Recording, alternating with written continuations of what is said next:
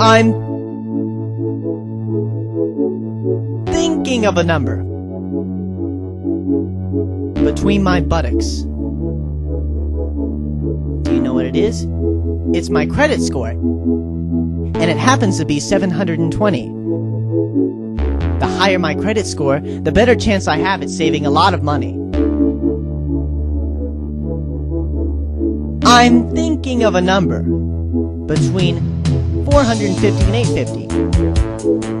Do you know what it is? It happens to be 720, which is my free credit score. This number is between my buttocks.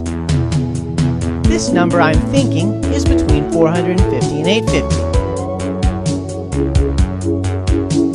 The higher this number it is, the better chance I have at saving a lot of money. But the number is between my buttocks.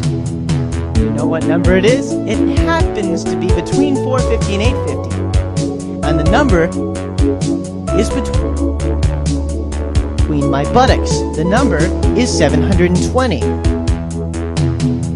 But do you know what number I'm thinking of? I'm thinking of a number bet- between my buttocks.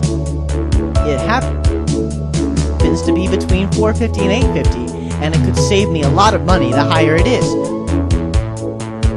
Fortunately, that number is 720, which is a number between 450 and 850. This number between 450 and 850 happens to be between my buttocks.